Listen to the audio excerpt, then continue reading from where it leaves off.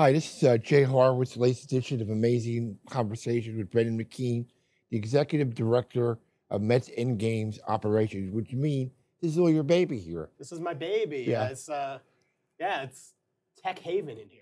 I liken you to a GM who signed a top free agent on the markets. The scoreboard, 1,790 square feet, three times larger than we had last year.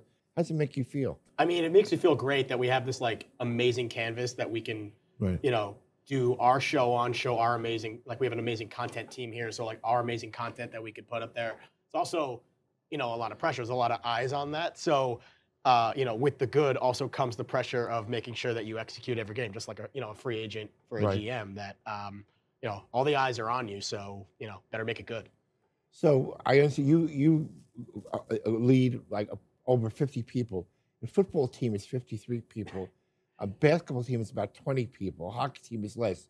That's a, that's a, a huge army all under your wing here. Well, I'm not Bill Belichick, but um, Or or uh, Brian Daboll, as we say, maybe. oh yeah, yeah. I'm a, I'm a Jets fan, so Robert Saleh for me. Yes. But um, yeah, we have a you know we have a big staff. Like, you know, people like the joke sometimes on the internet. It's like, oh, the intern running the scoreboard, and it's like, like no, we're a major company with a you know we're a major entertainment operation. If you think about it, like not only the scoreboard show, but uh, all the stuff we do pregame on the field. Um, the the Perk Patrol, who are essentially our brand ambassadors, you know, throwing T-shirts out.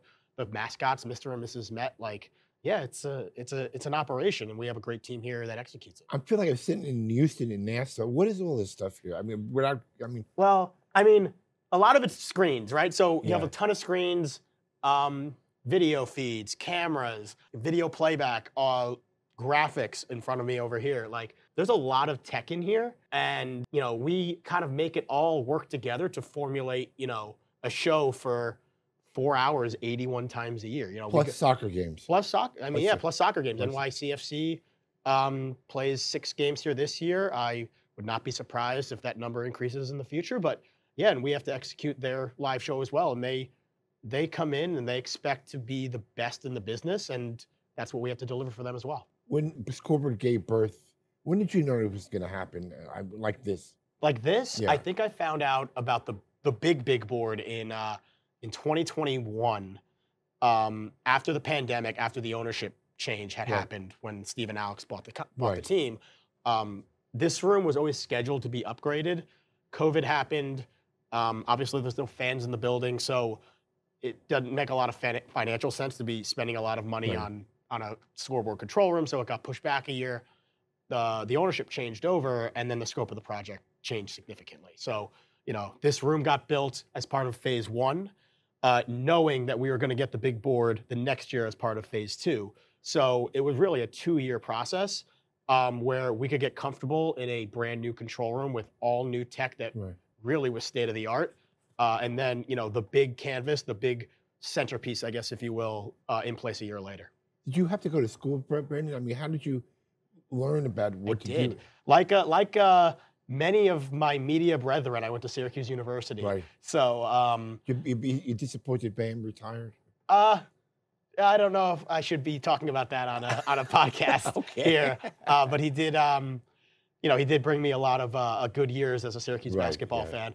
But um, yeah, I mean, at school, I studied television, radio, film. Um, the big thing for me was I wasn't in any fraternity or anything. I, I joined the student TV station, Mhm. which was Hill TV at the time, uh, became Citrus TV. And that was my fraternity. I lived there. I produced live sports shows from there. It was all student run. We had no professors helping us. So you really learned how to use all it wasn't this equipment let's be honest it's Right. student run tv station but you really learn how to make things work on a bare bones budget and you really know how to make tv and you learn on the fly in the moment you know with with real stakes it was it was airing locally in syracuse I mean, how did you prepare for this? Did you did you go to Samsung University? No, well, I mean, it. This is all a huge learning curve.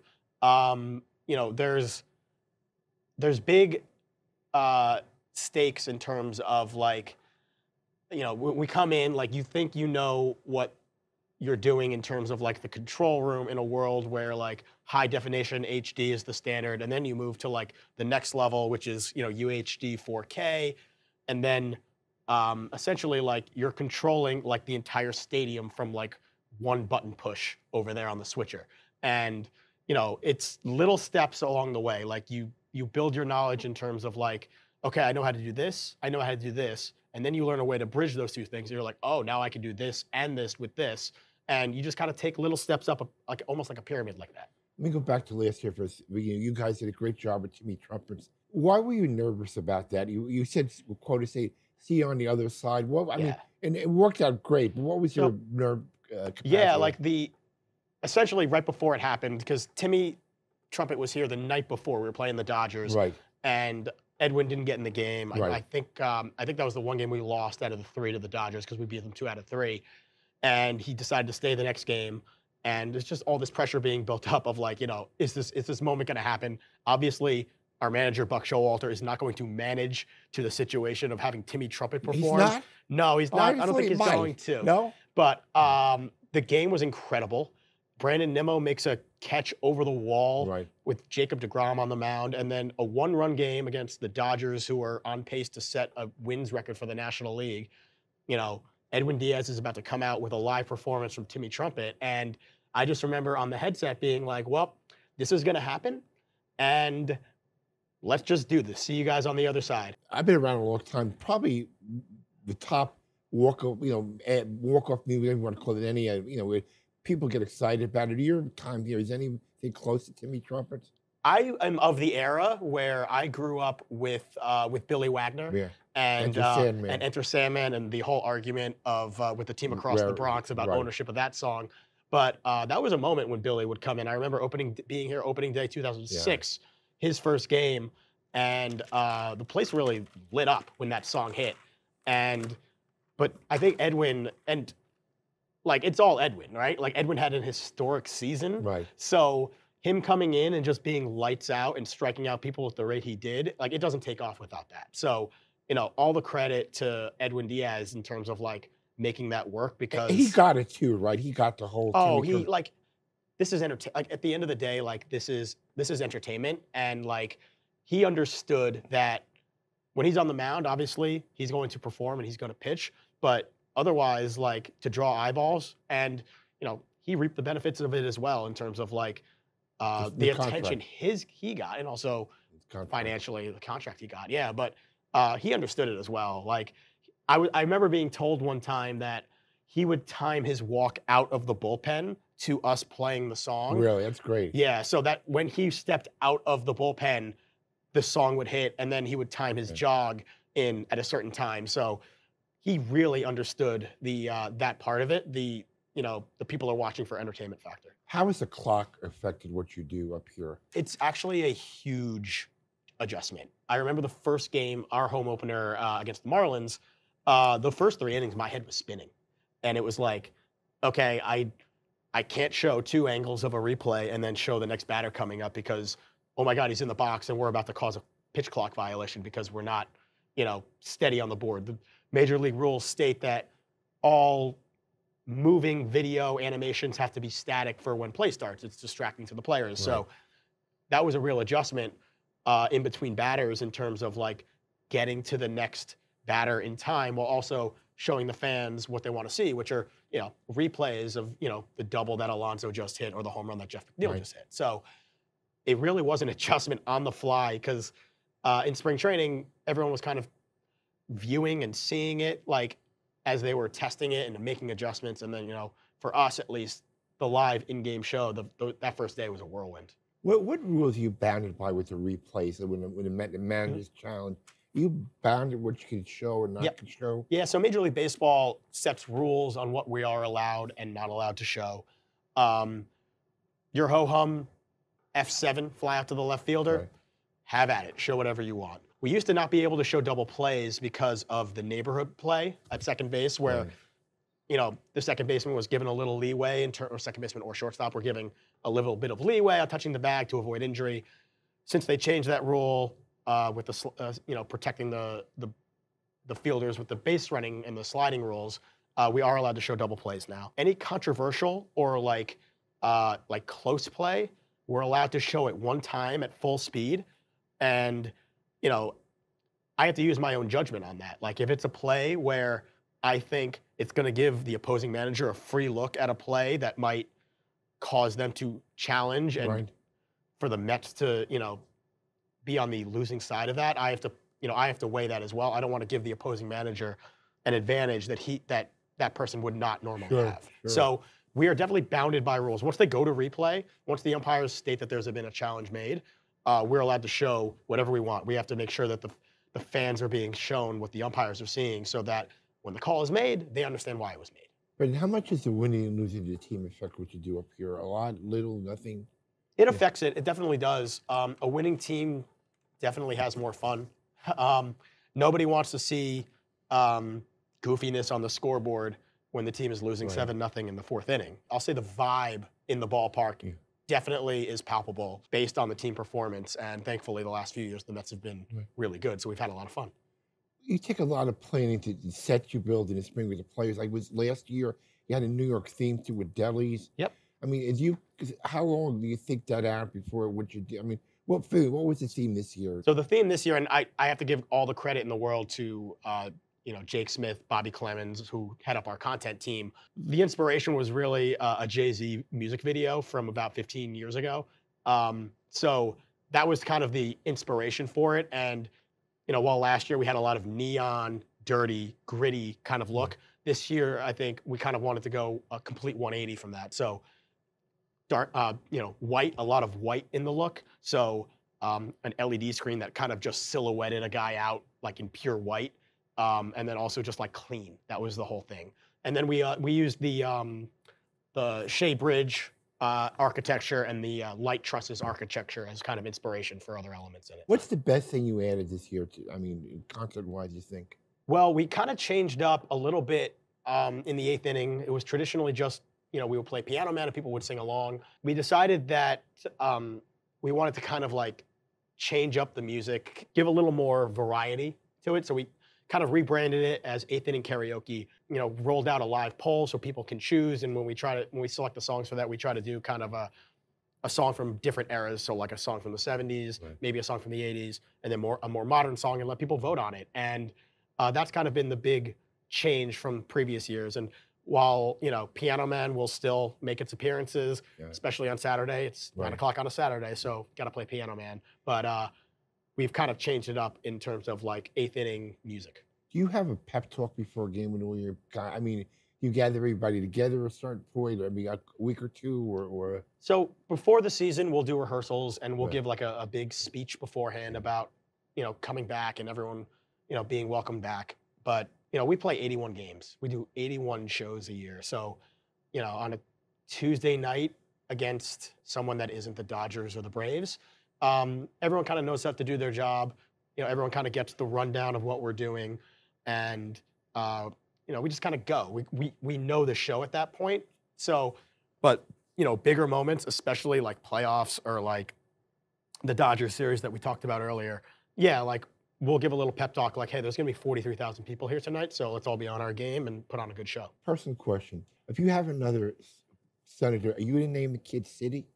no, well, No, no. But you have a son named Shay. I have a son named yeah, Shay. Um, Citi McKee doesn't work for you. it doesn't really. I don't. It doesn't roll off How the about tongue. Paul grabs me? No, Shay works because it's a nice Irish name as well. You so, and David Wright, Chipper Jones' name. is- I know. Yeah, well, well, Chipper, Chipper did it in a more trolling fashion. I appreciate more the, Yeah. how David handled it. But your your history with the Mets goes back a long way. You met your wife Yeah. at, so at, at, at Shea Stadium. yep. Uh, So with a blind date, a regular date? no, uh, uh, I was a production assistant. Um, she was an intern at the time, Right. so I was 23. She was 22. After her internship ended, we we kept in touch because we you know we got along pretty well, and that was kind of how we you know we met at Shea Stadium. It's last year, and kind of kept in touch after her internship ended and she graduated, started dating, and you know got married six years later. So Yeah, you you really started at the bottom. You know why? Because you actually worked for me. I did. I mean, that's really the bottom rung, Brendan. I know. Well, you, you, you, you cut VNRs for me back in oh you know nine or something like yeah, that. Yeah, my so I was a production assistant, but I wasn't full time yet Right. with the Mets. I worked for the Brooklyn Cyclones, and there was a symbiotic relationship there where uh, I would come help out at Right. Shea Stadium, and the the Mets crew would come and help out in Brooklyn when we needed it. Um, but I got hired full time with the Mets in February of 2009, and my first assignment was doing the video news releases in Port St. Lucie for Yeah. Jay Horwitz, which in, which entailed uh, basically uh, stalking a player for a day.